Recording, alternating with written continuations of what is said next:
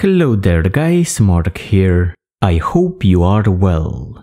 In today's video, I'm going to be showing you how to create a paracord get back whip. Now this item has several different uses, some more legal than others. The primary use for such a whip is to display the club colors of a rider. Secondly, it can be used to create distance between vehicles in traffic by basically beating away at vehicles riding too close to a motorcycle. And thirdly, sometimes it is also used in self-defense. Now, as I've mentioned, some of these uses are more legal than others. So, use the item with respect and you're going to do just fine. Here you can see an example of a paracord getback whip which I'm going to show you how to make in this video. The getback whip is basically defined by the three fancy knots used to decorate it. If I cover the basic build for the getback whip, we start off with a pineapple knot and use it to cover a pool ball. Then we start a series of crown knots. This takes a while and when we build a sufficient length, we attach our panic snap and tie a decorative knot to finish up the ends. Finally, I also like to add in a decorative knot right next to the pineapple knot. And that's our project. Now let's move on to the supplies. In this tutorial, I'm going to be creating a 2 foot long get back whip. I'm also going to show you how to modify the length for a longer get back whip. As far as the length of the get back whip goes, 3 inches are taken up by the pineapple knot. 4 inches are taken up by the panic snap. The rest of the length consists out of crown knots. So in a 2 foot long get back whip, 7 inches are taken up by the panic snap and pineapple knot and 17 inches by the crown knots. For a 2 foot long get back whip, we're going to need two cords each 27 feet long. This is enough for the pineapple knot, the crown knots, and the decorative knot next to the panic snap. The decorative knot next to the pineapple knot is optional. It is tied using two cords each three and a half feet long. As far as other supplies go, you're going to need a panic snap.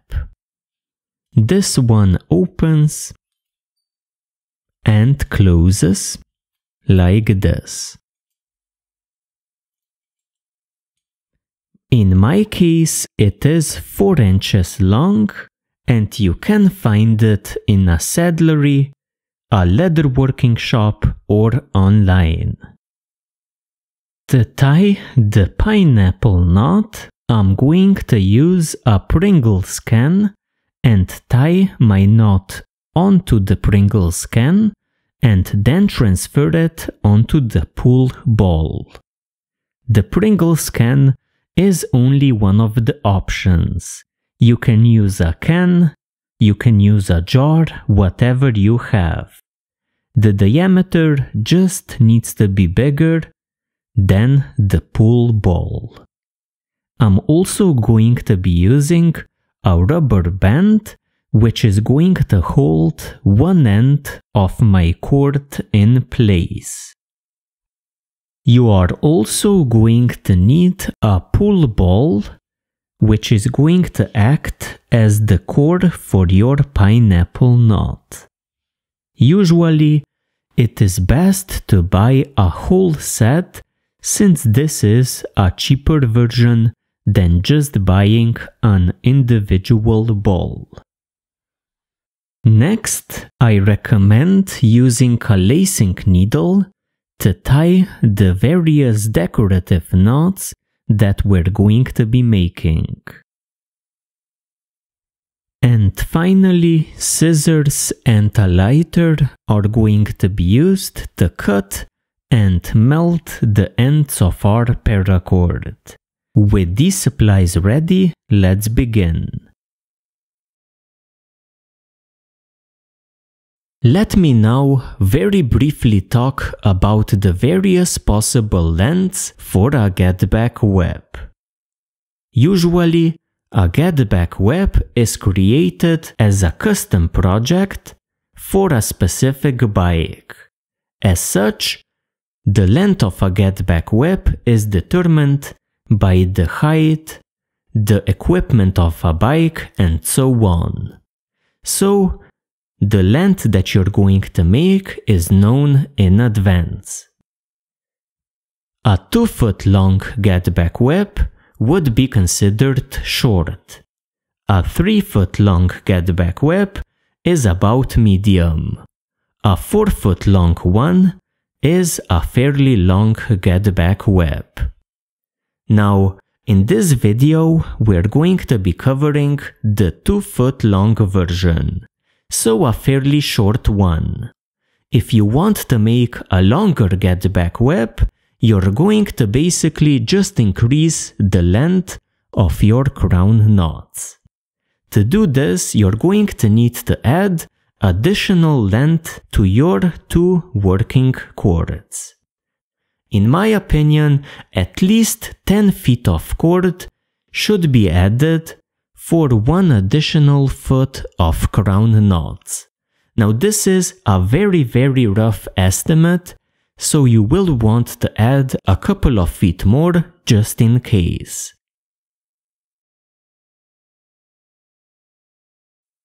I am now going to tie a pineapple knot. To do this, I took one of my two cords and placed it under the rubber band. This part here on the right side is about 12 feet long. The rest of my cord is placed under the rubber band since we're not going to use it. So for tying our knot, we're only going to be using about 12 feet of this cord we're going to be tying an 11 part 10 bight Turk's head. Take your cord, wrap it around. Pass over the standing end and around again. Pass over the cord here. Take your working end onto which I have attached a lacing needle. We're going to travel the opposite to this cord, traveling under, over, towards the left side.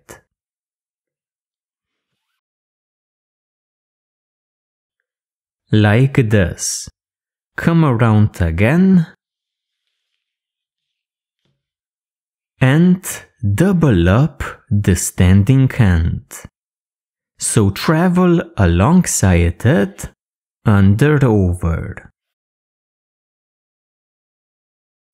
Like this. Now, from right to left, we are again going to travel the opposite to this cord.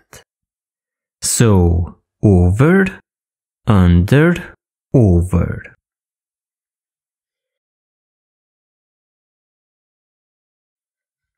This again brings us to the standing end.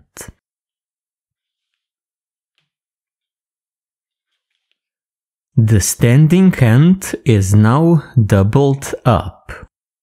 We're going to split this pair by traveling in between the two cords and doing the opposite to what they are doing. So over, under, over. Like this.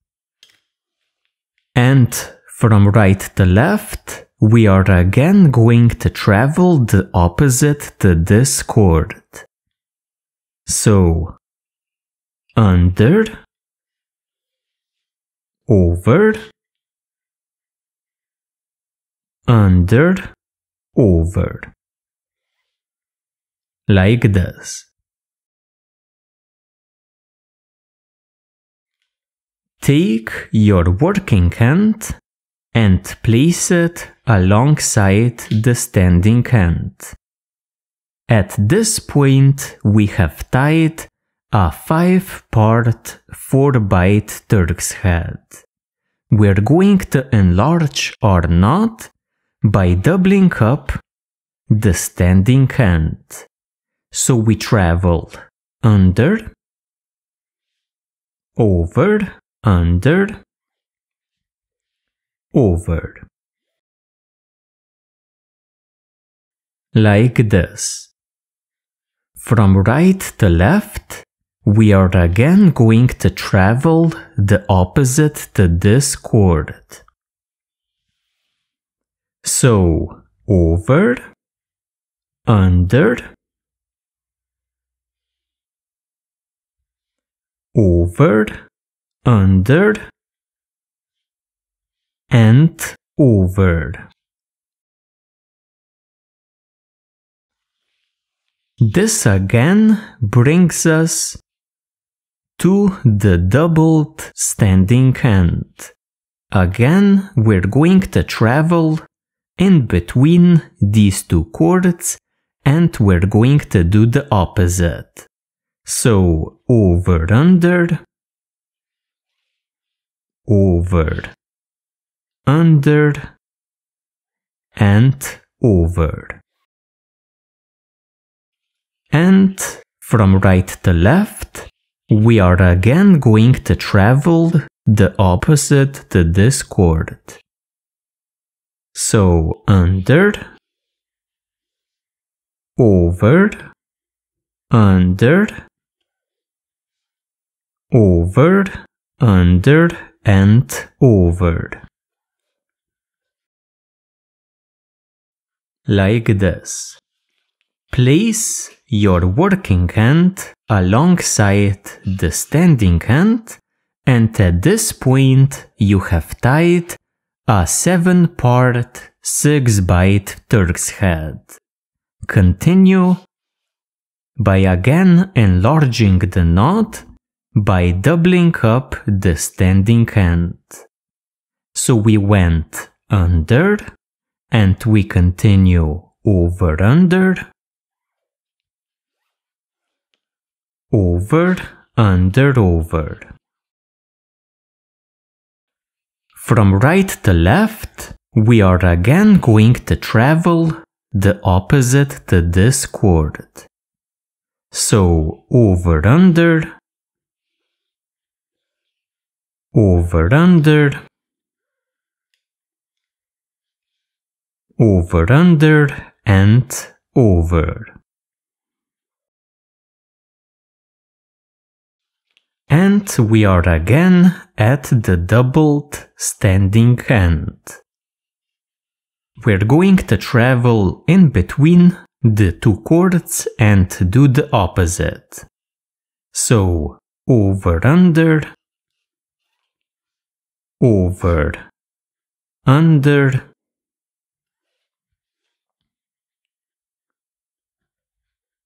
over, under, and over.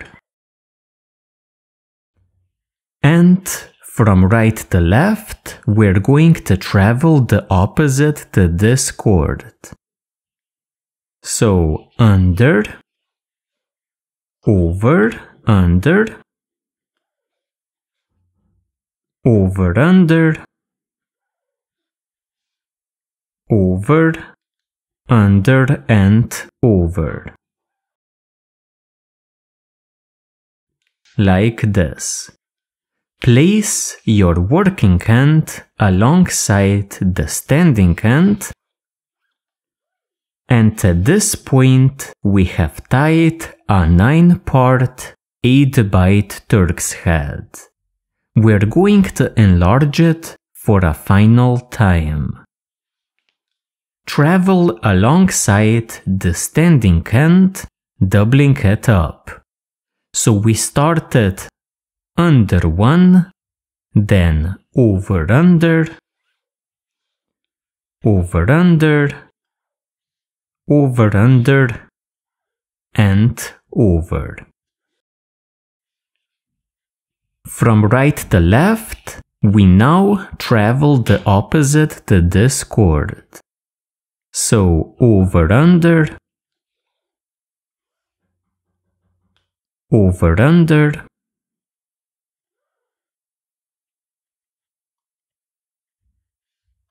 over under, over under, and over.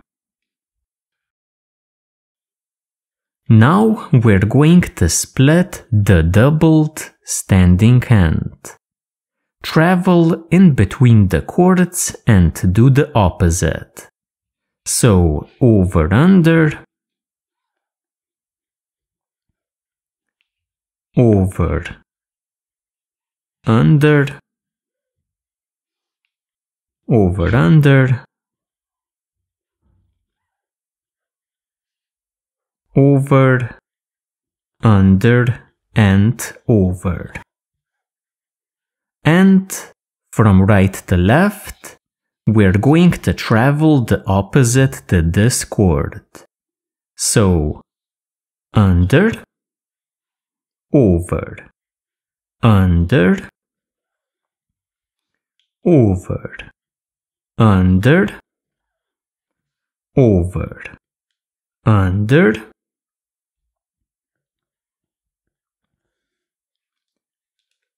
over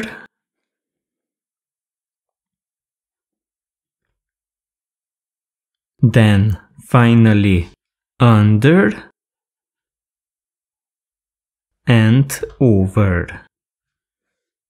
Place your working end alongside the standing end and this completes our base knot.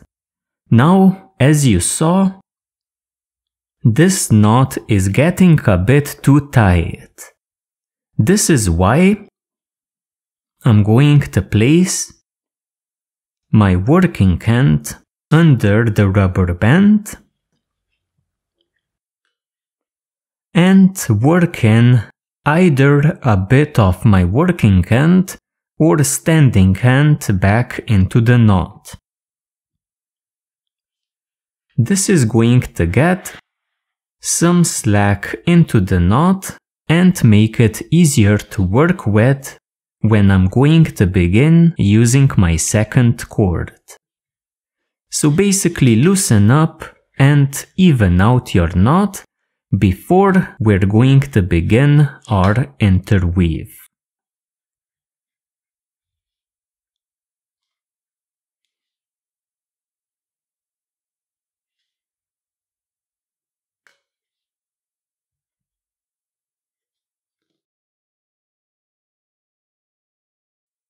I have now loosened up my knot.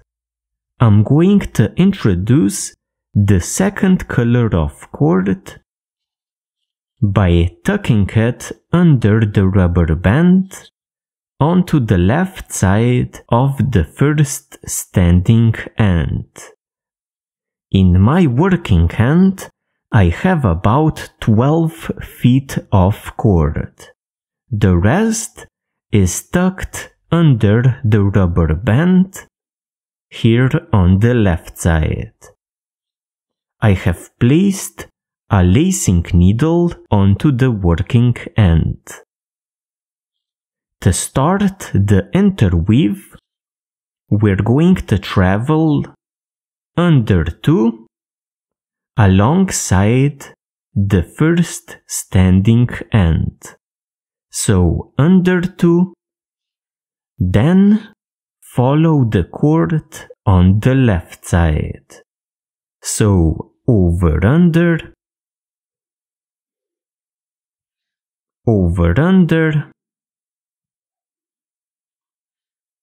over under, and over under.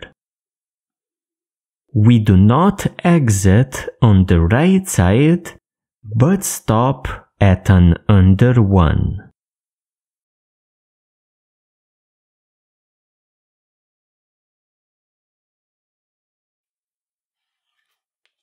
Now, from the right side to the left, we're going to start our sequence again with an under 1. So we ended with an under 1 and we start our next sequence with an under 1 as well. So under 1, then follow the cord to the right. So over under, over under, over under,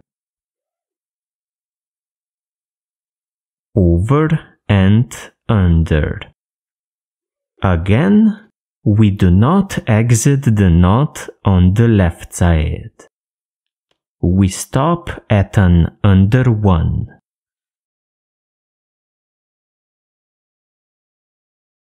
So here on the right side you can see how my second cord turns around back into the knot.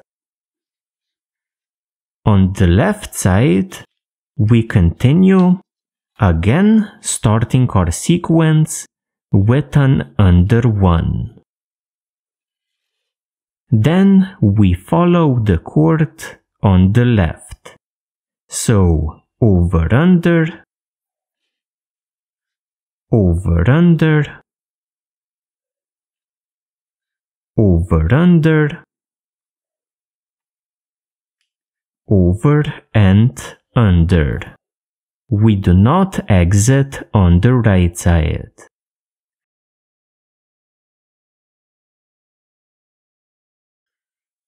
And again, on the left side, you can see how the cord turns back into the knot like this. On the right side, we are again going to start our sequence with an under. But this time, under 2 in order to split a pair of parallel strands. So under 2. Then simply continue following the cord to the right. So over under, over under, over under, over under. Again, we do not exit the knot here on the left.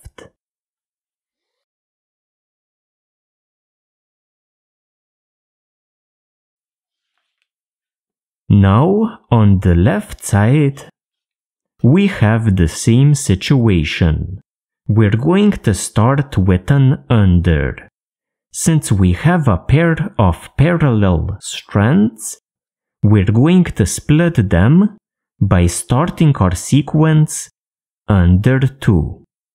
So under 2, then follow the cord to the left. So over under, over under, over under, over and under.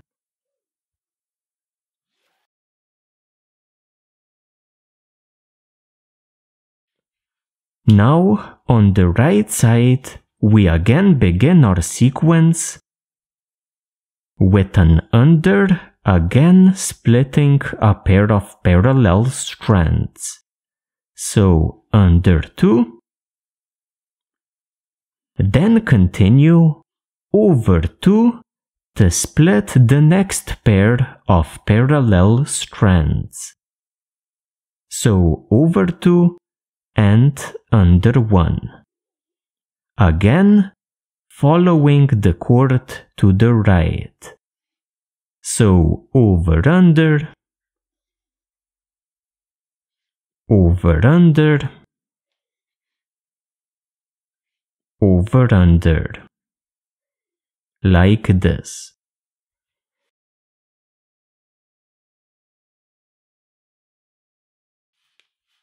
On the left side, we again repeat the same process. So under 2, the split a pair, over 2, the split a pair, then follow the cord to the left. So under 1, over 1, under 1, over 1 under, over and under.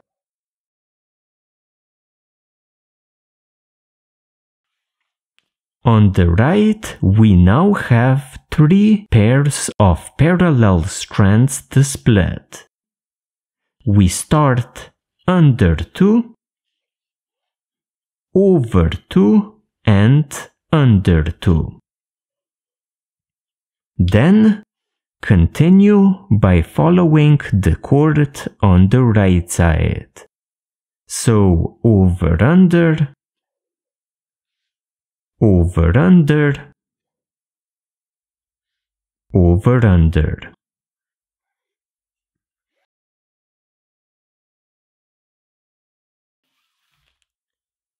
On the left side, we repeat the process. Under 2, the split a pair, over 2 the split a pair, under 2 the split another pair. Then continue over under, over under, over under, like this. As you can probably expect, we now have an additional pair of cords to split. So this time we started under 2, over 2, under 2, over 2, then follow the cord on the right. So under 1,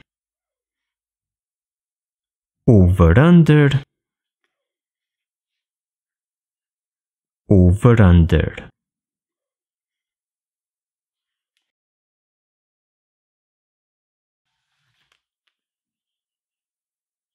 and again from left to right we repeat the process under 2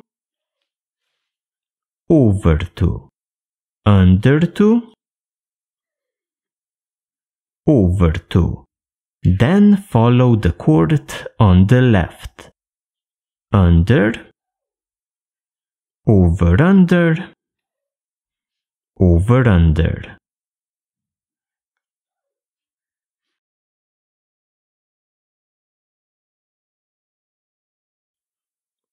From right to left, we have another pair to split. So under 2 over 2 under 2 over 2 under 2. Then follow the cord on the right side. So over under, over under.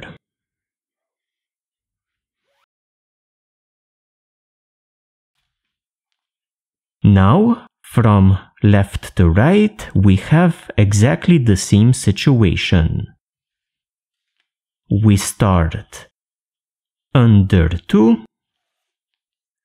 over 2, under 2. Over 2, under 2. Then follow the cord on the left side so over under, over under.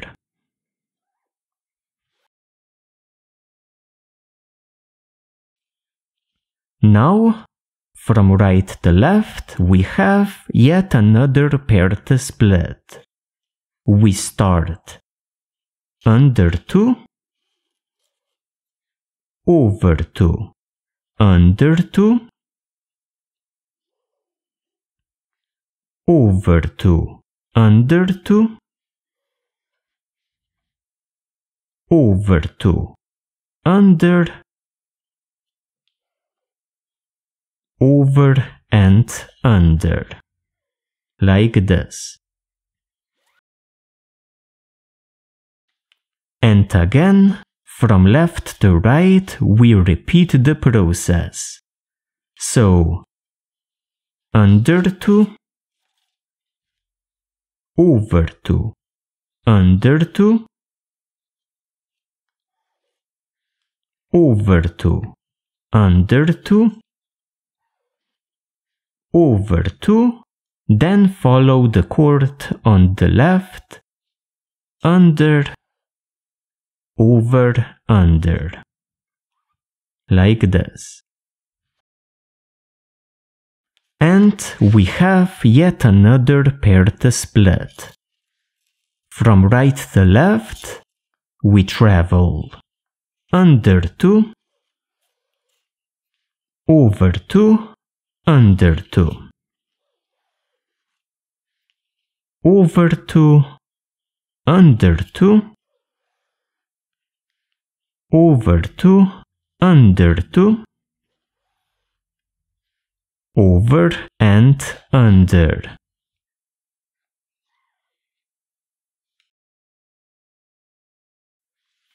And we repeat the same process from left to right. So, under 2,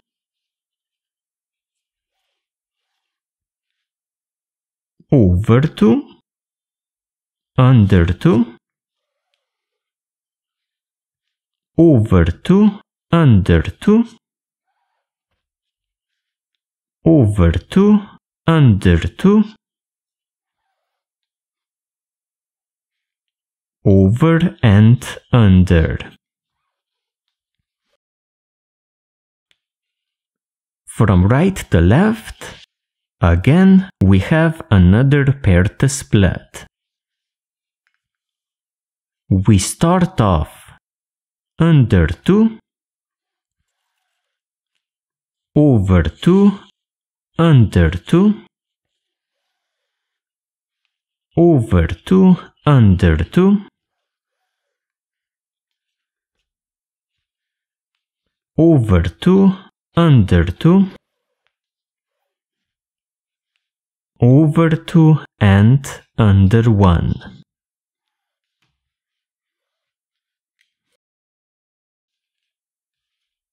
And from left to right, we repeat the process. Under 2, over 2, under 2,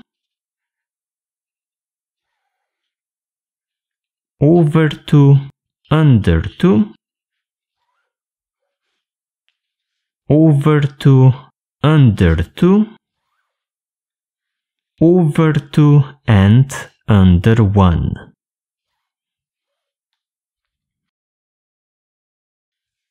Like this. Now travel from right to left, under 2, over 2, under 2, over 2, under 2,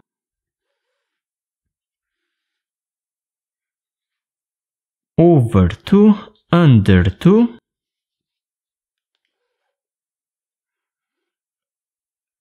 over 2 and under 1.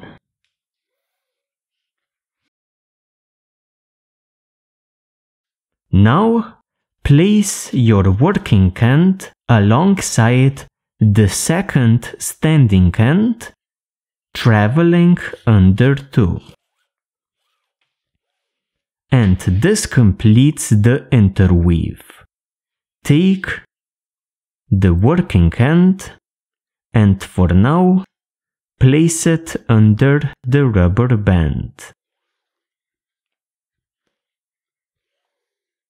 At this point, we have a pineapple knot interweave. We are now going to prepare it to transfer it onto our pool ball. We now have an interesting task in front of us. What we need to do is bring the four ends of our cords to about the middle point in our knot. This way they're going to exit at the center and we can continue with our crown knots. So here is a practical example. I have my pineapple knot and all four ends are exiting at the center of the knot. So not on one side or the other, but at the center. So to do this, what I like to do is to find one cord that is already exiting at the center. So in this case, the standing end of my second cord is here, exiting at a space about at the middle. What I'm going to do is double up my standing end using the working end.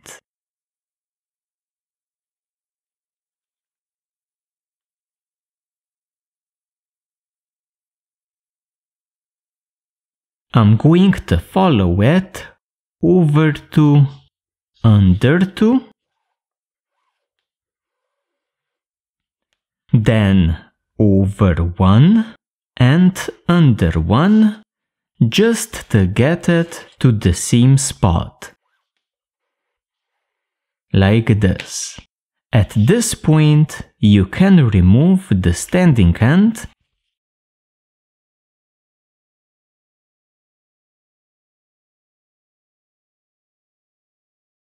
like this and the two ends are coming out out of the same opening.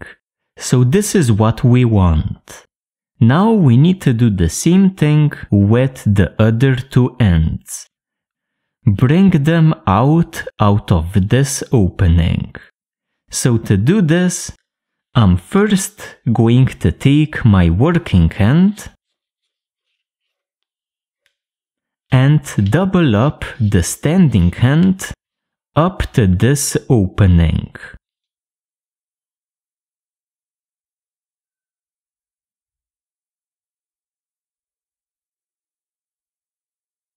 So I'm going to start over to under 2,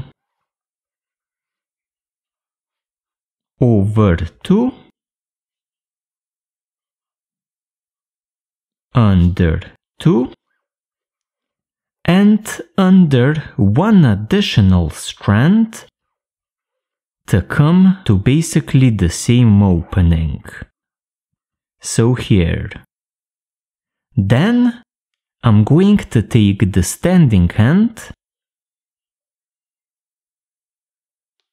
and to remove it.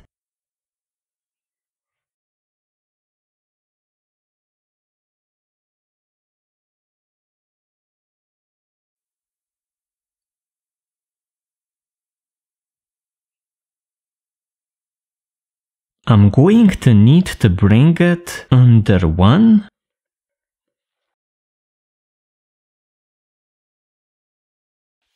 And now all four ends are coming out at the center of the knot.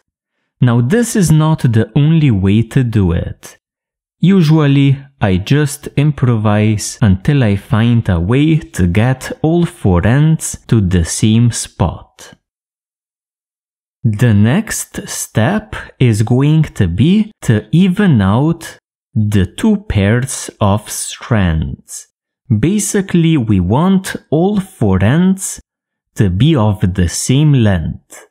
So for example, here, the two ends are not of the same length. The working end is very short and the standing end is very long. I'm going to take the long cord, so the standing end, and work it partly into my knot. Then I'm going to work through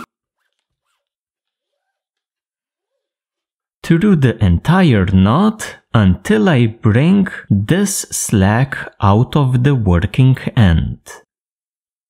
And finally, you pull out the slack into your short working end.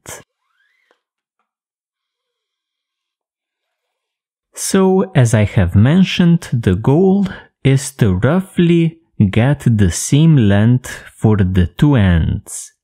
Now you're going to get additional chances to even out the two ends when you're tightening your knot onto the pool ball.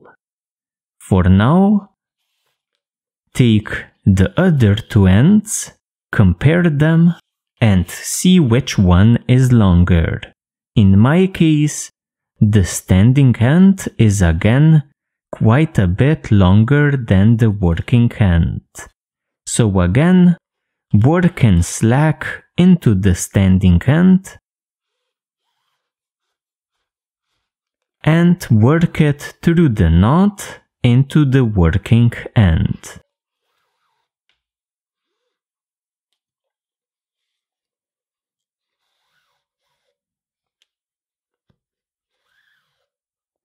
And again, we pull in the slack into the shorter end.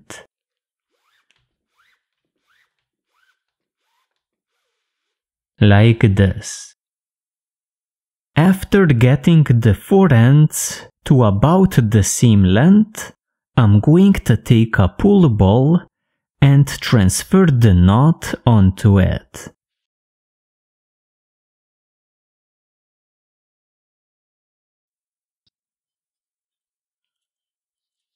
So something like this. Now I'm going to begin tightening. I start with one cord.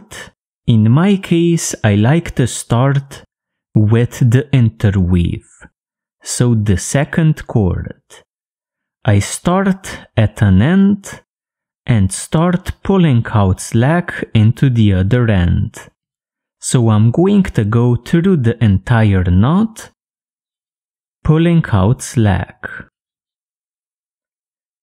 You don't have to do this terribly tightly, since we're going to do several passes of tightening.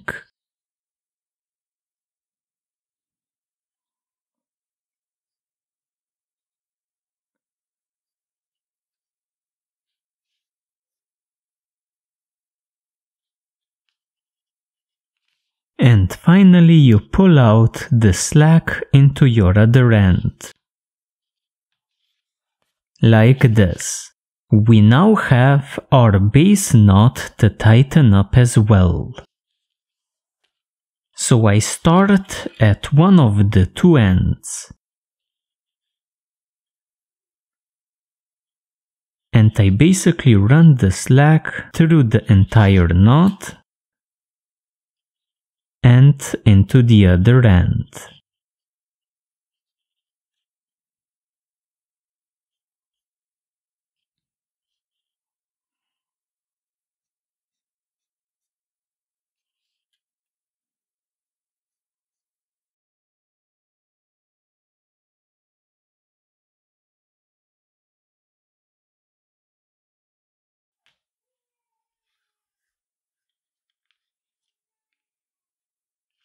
And finally, we pull our slack into one of the ends. So this has been one pass of tightening. I'm going to do one to two more. At this point, you're going to want to align the ball inside, perhaps to show a number Perhaps you want to hide it. It is a personal preference. You want it aligned neatly on both sides. We're going to begin tightening by again taking a cord. In our case, we're going to start with the longer of the two, work some slack into the knot and again run it around the knot.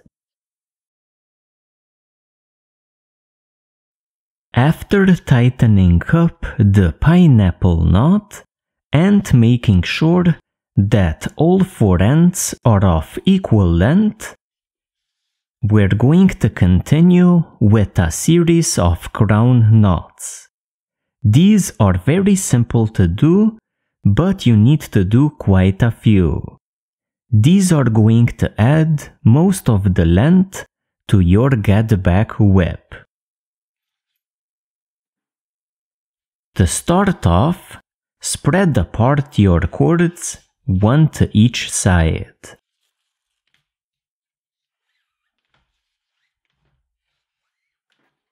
So like this. I have two cords of one color, the opposite to each other, and two cords of the other color opposite as well.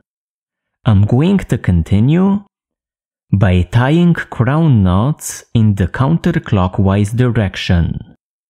Take a strand, it doesn't matter where you start. Pass it counterclockwise over the next strand. Take the next strand and pass it counterclockwise over the next strand. Take the next strand, pass it counterclockwise over the next strand, and the final strand is going to pass into the loop created by the first strand.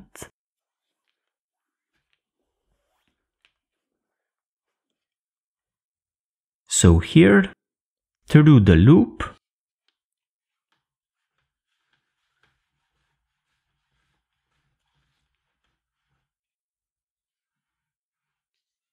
like this. So if you tied your crown knot correctly, this is what you should get. Tighten it up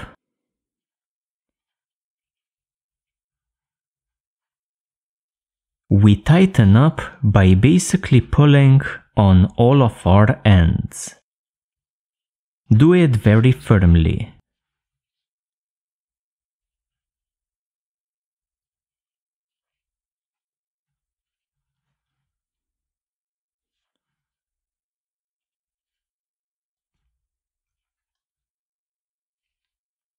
So something like this.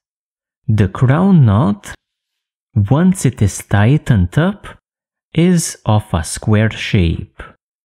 Continue again, taking one of the cords, again it doesn't matter where you started. Pass it counterclockwise over the next strand. like this. Take the next strand counterclockwise over the next one. So like this. Take the next strand and again pass it counterclockwise over the next one. And the last of our strands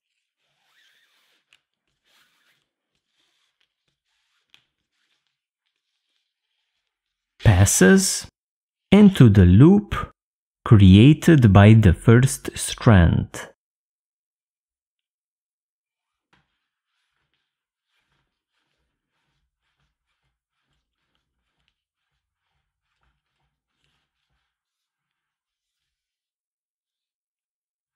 like this. So again, this is the crown knot before you tighten it up. Tighten it up by pulling on all of the ends.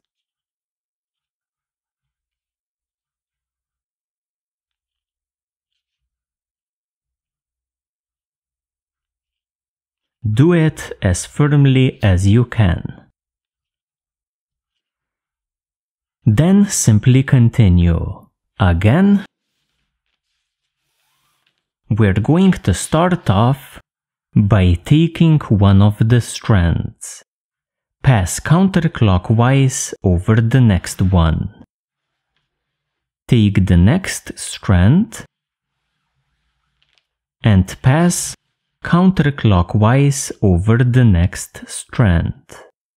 Take the next strand and again pass counterclockwise. The last of your strands is going to pass into the loop created by the first strand.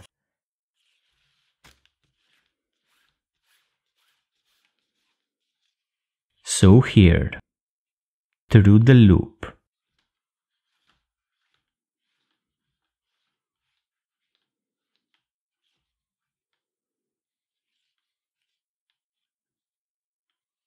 And again we have another crown knot. So this is how it looks like before tightening it up.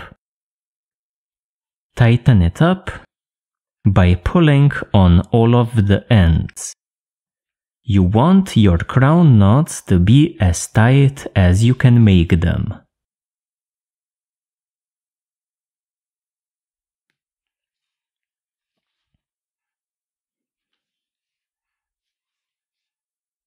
And you can see a bit of your pattern beginning to form. It's going to be a spiral pattern like this. We're going to continue tying crown knots. We're going to make as many as we need to get a length for our get back whip minus the 4 inches for the panic snap. So in a 2 foot long get back whip, we're going to make enough crown knots for the length of the whip to be 20 inches. Adding the panic snap, we're going to get 24 inches or 2 feet.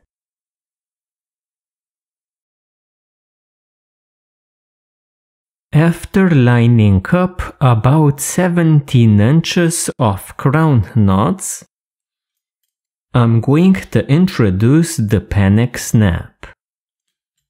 There are a ton of ways for attaching it. I'm going to show you one which uses crown knots. Since we are already familiar with this technique, it should be a piece of cake.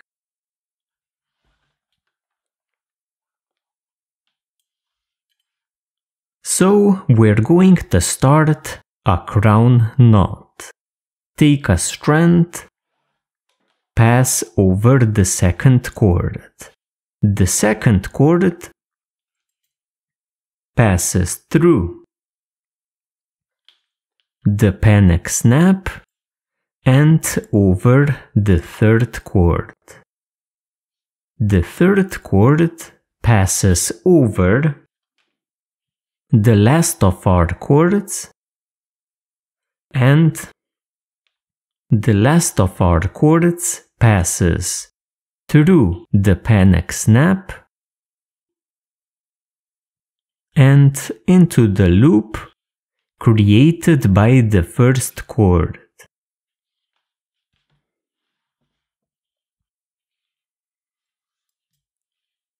And this ties a crown knot. Now to make this attachment a bit stronger, I'm going to feed the two cords which are not passing through the panic snap through it. So the bottom one passes towards the top and the top one passes through to the bottom. Then tighten up firmly.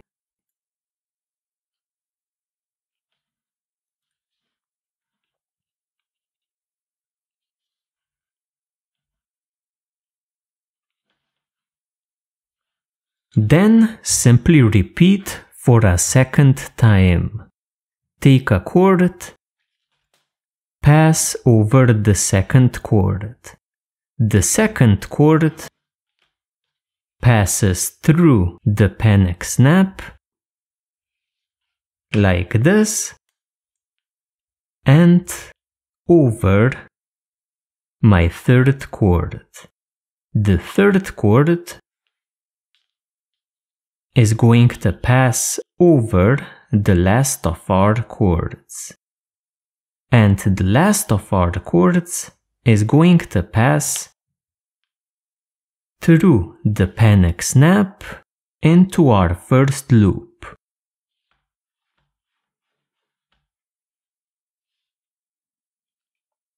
Like this. And again, we're going to pass the two cords which are not traveling through the panic snap through it. So the top one passes towards the bottom and the bottom one passes towards the top. Then firmly tighten up.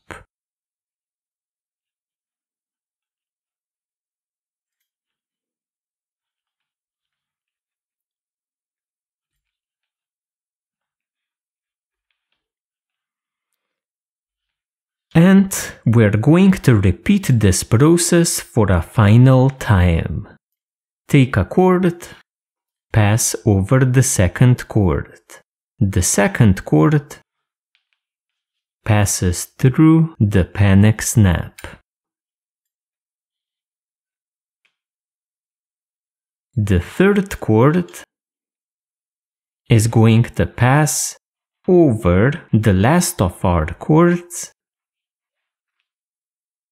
and the last of our cords is going to pass through the panic snap and into our first loop.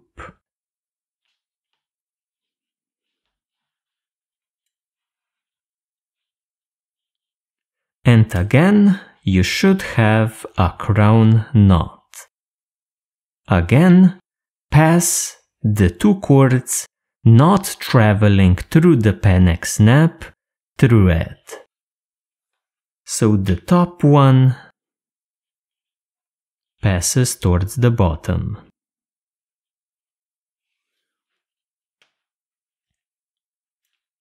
And the bottom one passes towards the top.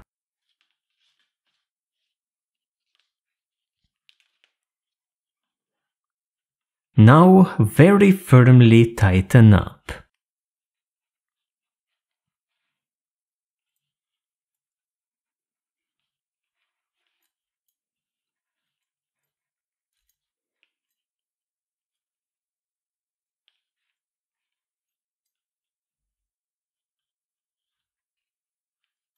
Like this. At this point, we're going to finish up the four ends with a decorative knot. We are now going to finish up the four working ends using a decorative knot. Pick up the four ends like this. They should run parallel and not cross each other. Wrap them around your crown knots three times. So once,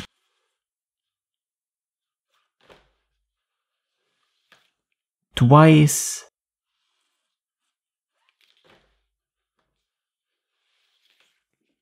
and three times. I'm now going to weave the four working ends through the 12 strands wrapping around my crown knots. Take your first working end and do a simple under 1 over 1 sequence through the 12 cords. So under, over, under, over, under over, under over, under over, under over.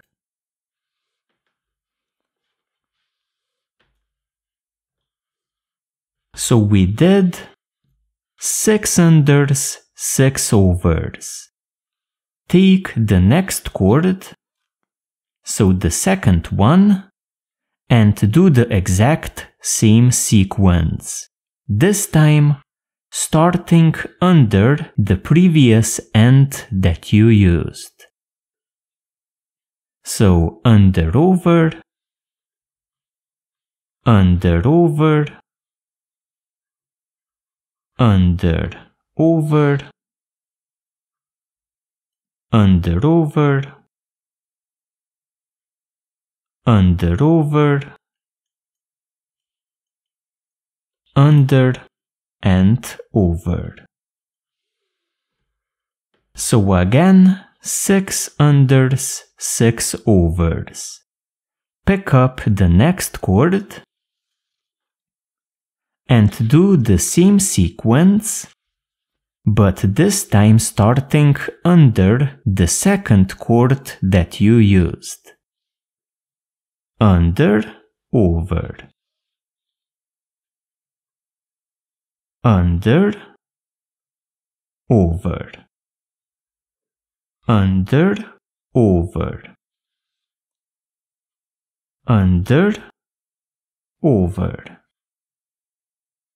Under, over under and over. So again, six unders and six overs. Take the last of your cords and pass under the previous cord that you used, so the third one, passing in the same sequence so under over, under over, under over, under over, under over, under and over.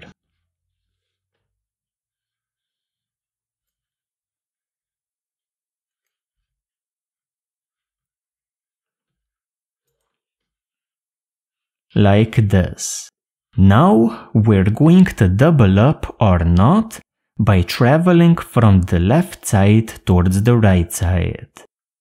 Pick out one of the strands, it doesn't matter where you start. Remember that we finished our sequences with an over 1. So let's say we're going to start with this strand. So over one on the left, then pass under the next working end, coming parallel to a strand on the left. Follow the strand on the left all the way to the right side. So over under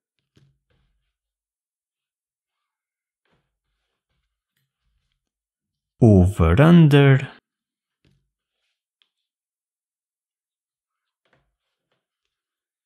Over under.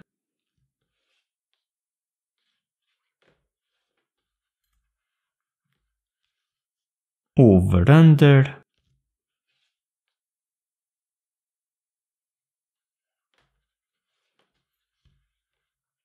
Over under and finally over on the right side. So essentially we have doubled up the cord to the left. Then pick out the next cord. So this one, which is now traveling over 2 when it finishes up its sequence. Then pass under your next working end like this, coming parallel to a strand on the left. Double it up using your working end. So over under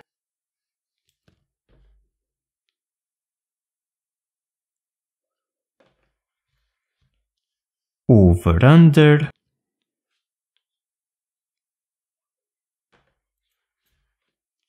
over under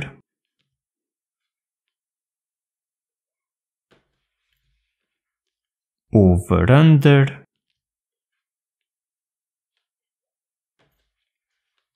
over under and finally over on the right side. Take the next working end, which is again finishing its sequence over 2.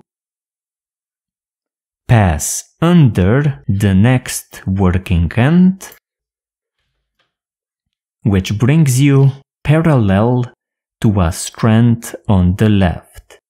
Double it up, traveling towards the right side. So over 1, under 1.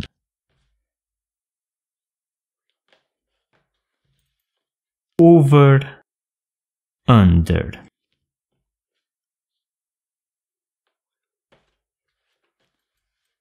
Over, under.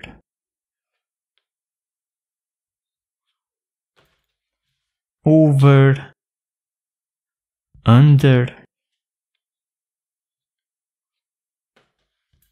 over, under, and over. Now take your last end on the left, which again is finishing its sequence going over 2. Pass under the next working end which has already been used. So under it, which brings you parallel to a strand on the left. Follow it to the right side. So over under,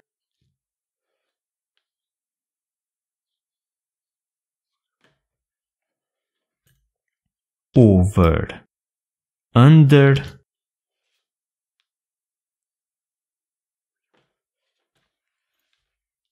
Over under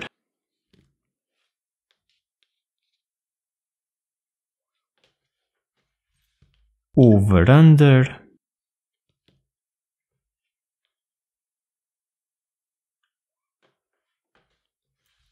over, under, and finally over. In our last sequence, we're going to basically bring the pattern together. To do this, take one of the ends. Pass from the right side to the left in an under 2 over 2 sequence. So under 2, basically under the next working end, then over 2 under 2 and so on.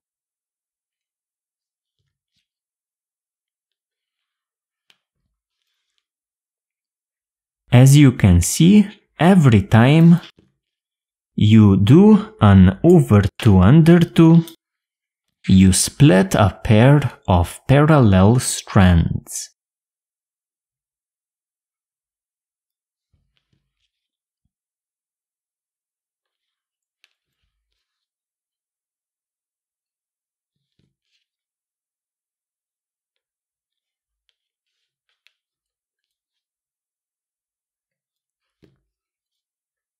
And you finish up on the left going over 2.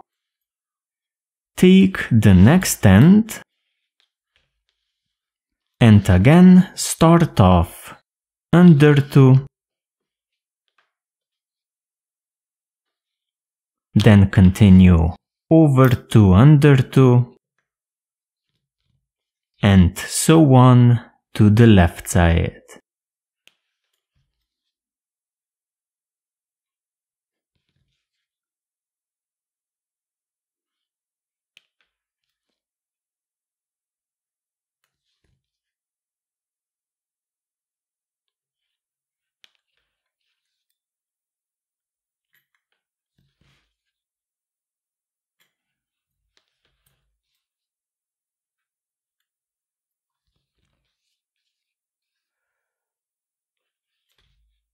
Finishing up on the left side with an over 2. Take the next working end and again under 2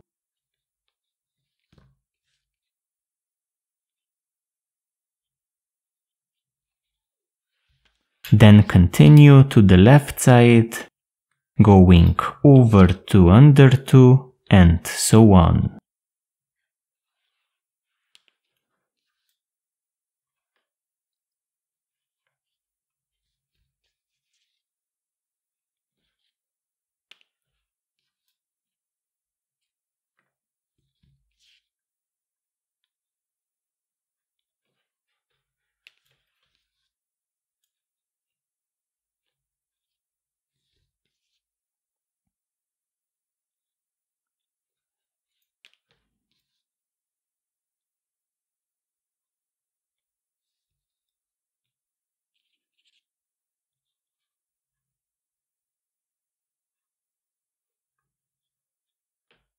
We finish up on the left side over 2.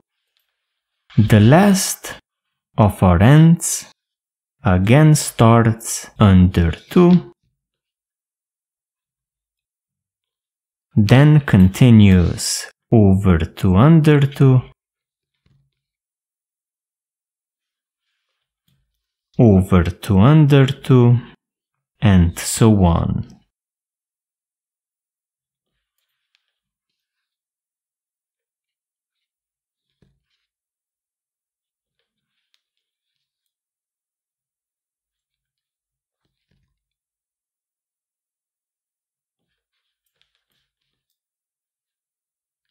Again finishing up on the left side, going over 2. To finish up the knot, I'm going to bring all of my ends under the knot to the right side. This is a fairly simple process. You take an end. In my case, I'm going to be using a lacing needle. You can also use a marlinspike, create a gap, and feed an end through it. If you remember, we finished each sequence with an over 2. Then immediately pass under the knot to the right side. Take the next end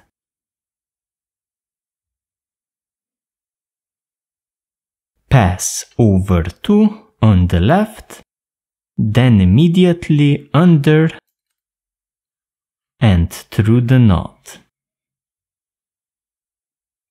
And the next end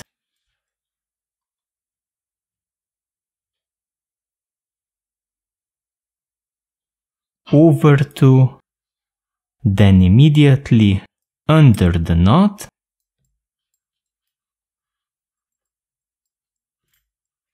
and out on the right side.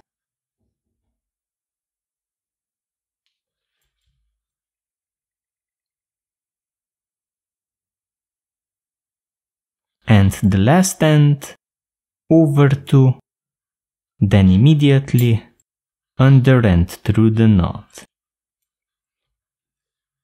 And this finishes up our knot. As you can see, it has quite a bit of slack in it. To fix this, you start tightening it up by finding a cord coming out of a crown knot. So in my case, for example this one, pull it through the entire knot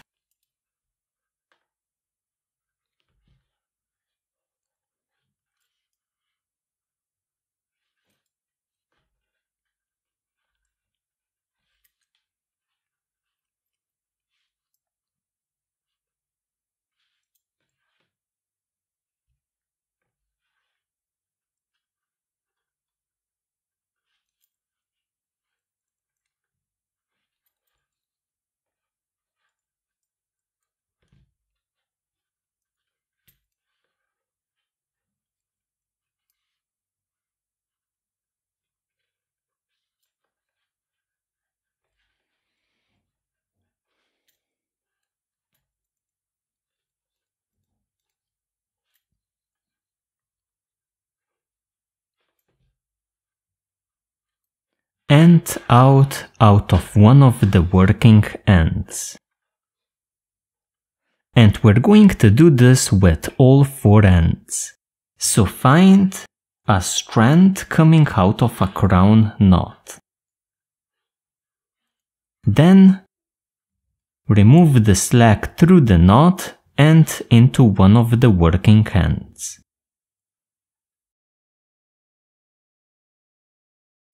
After tightening up my decorative knot, the main part of this project is complete. I'm going to introduce a second decorative knot next to the pineapple knot. This one is completely optional. Take two cords, each three and a half feet long. We're going to push them through a crown knot here at the start.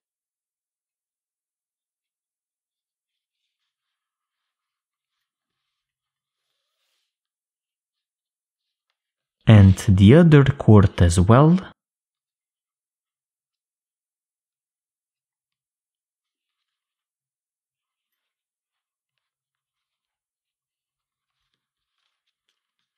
Like this. Now, before we begin tying, make sure that all four ends are of equal length.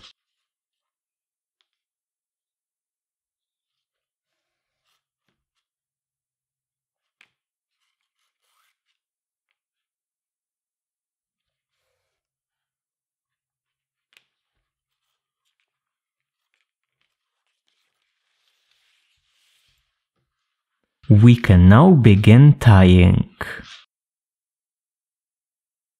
We are now going to tie our decorative knot. The knot is very similar to the previous one that we tied, but we are only going to do two wraparounds around our crown knots. So two wraparounds instead of three. Pick up your working ends and make sure they are lined up. They should not cross one another. Then wrap around two times. So once, twice.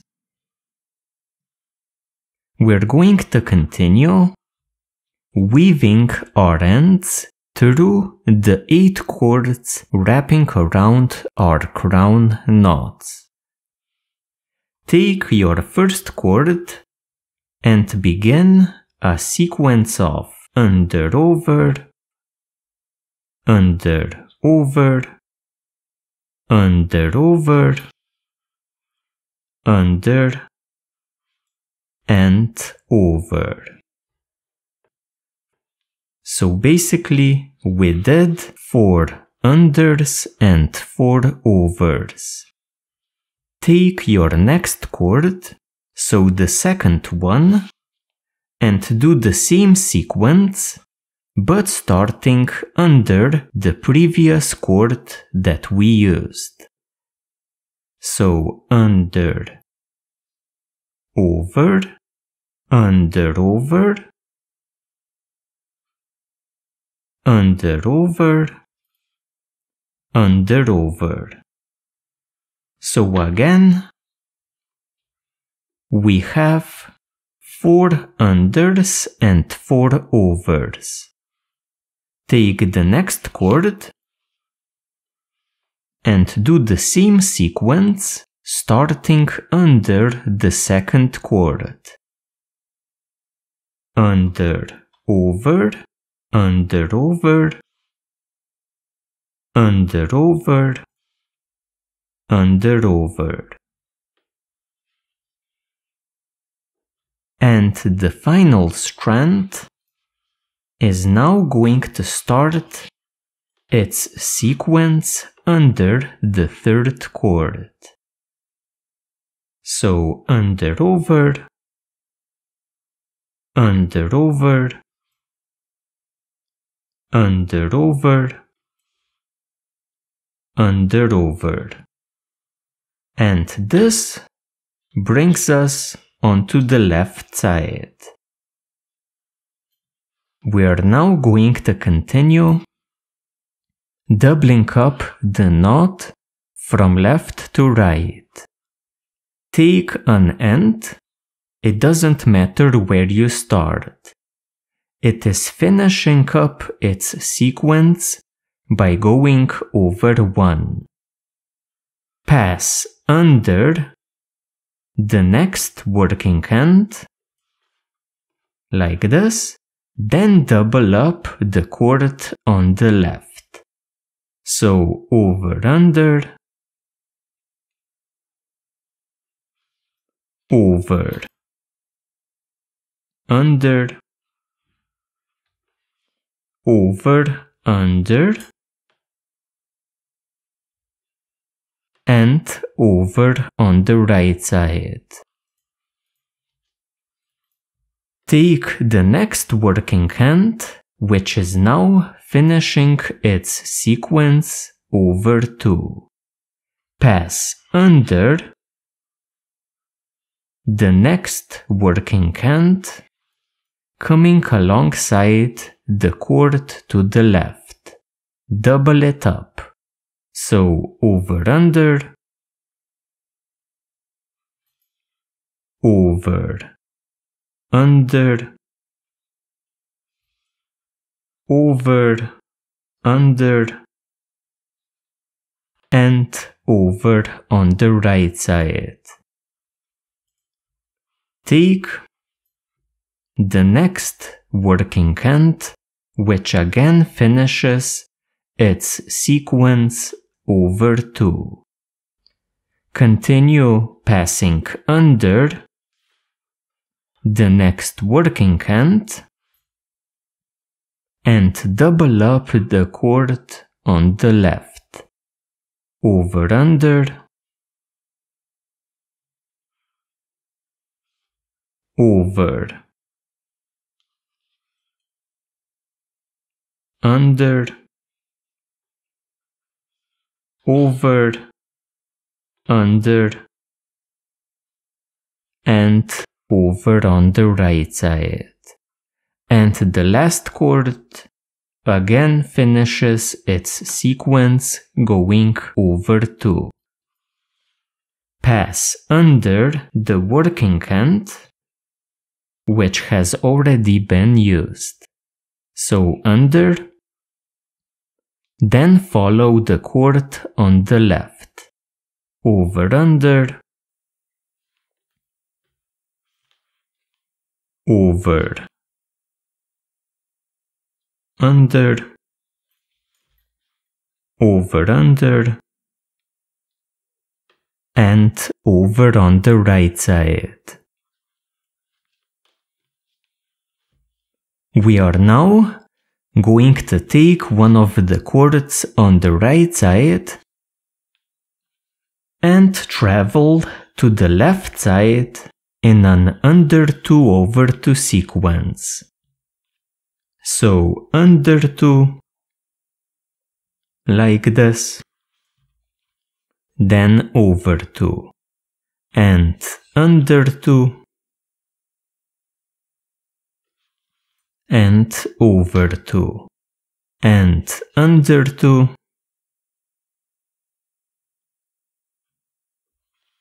over 2 under 2 and over 2 on the left. Take the next working end.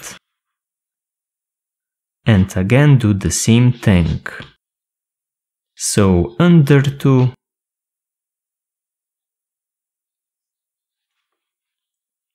over 2 under 2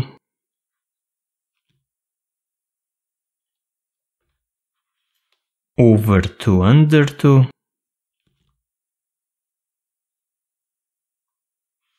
over to under to and over 2 on the left.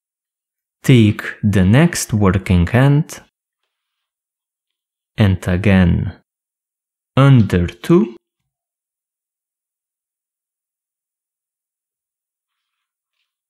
over 2 under 2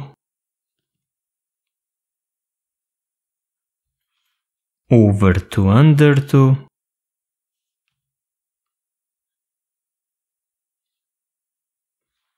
over to under to and over to on the left. And the last working end again starts under 2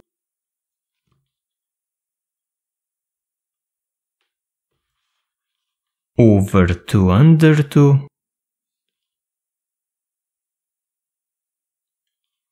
over 2 under 2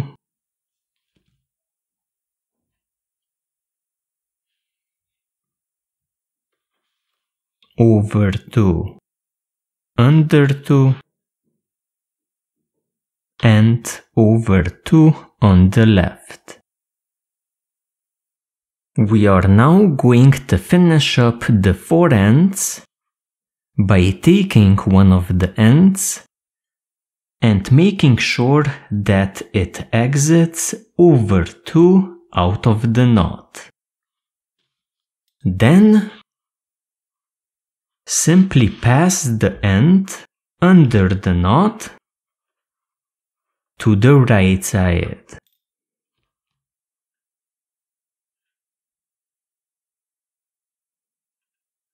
Like this. Take the next end again make sure that it exits over 2. Then, under the knot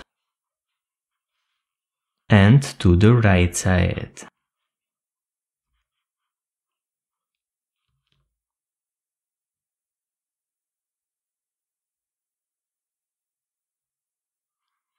And the next end exits over 2 then enters under the knot all the way to the right side.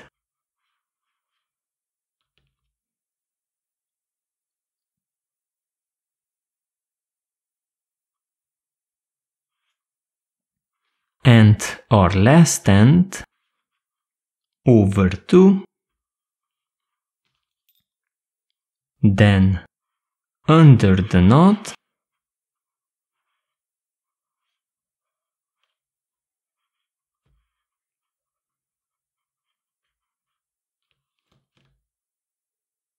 all the way to the right side.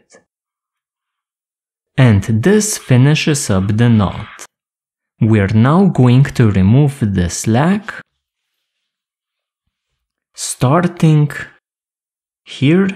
So by taking the cord which is coming out of the crown knot and running that cord through the entire knot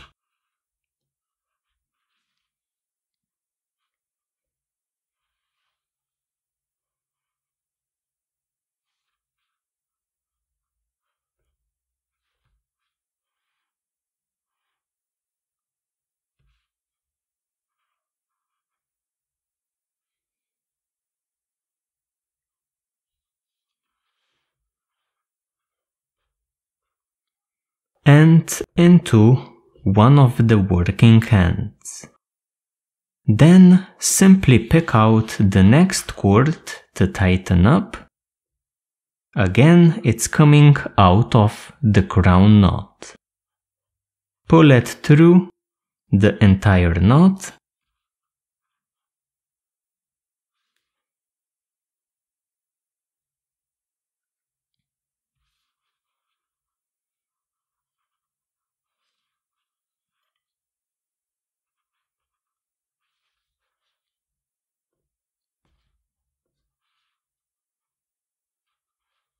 and into one of the ends.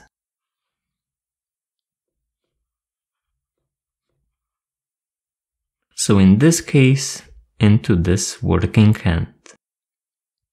Do this with all four ends, at which point we're going to do our finishing touches. So after tying the two decorative knots, and properly tightening them up, we're going to trim the ends as close to our knots as possible.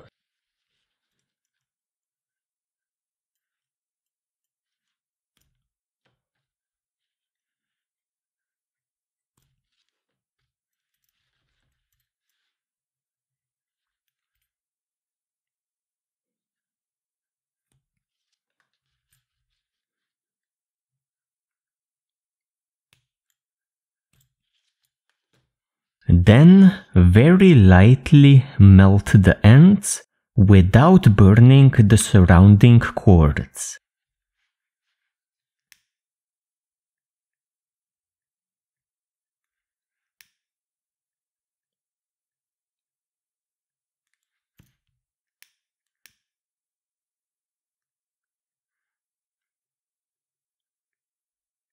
So something like this. Now take your lacing needle and push the ends under the knot, just to hide them out of sight.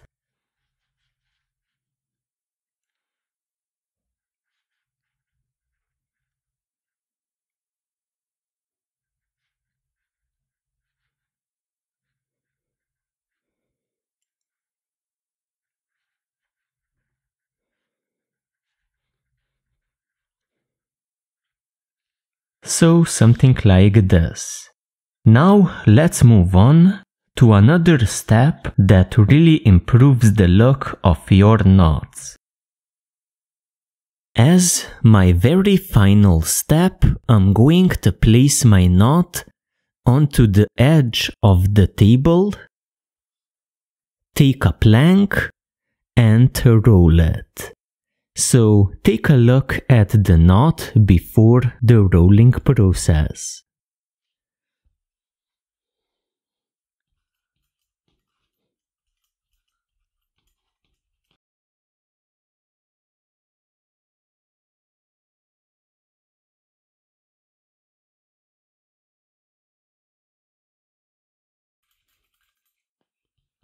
So after a bit of rolling, the knot gets a lot more consistency. I'm going to do some more rolling, but for now, this knot looks very attractive.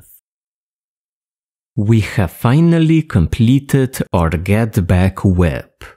It was quite a journey since the tutorial itself is an hour and a half long. The making process does get quite a bit faster once you get used to it. There is still a lot of room for improvement for different variations in length, color, decorative knots, and so on. I hope that I made this tutorial clear enough. Please do post a comment with your feedback if you get the chance. Thank you very much for joining me today and I hope to see you in my future tutorials as well.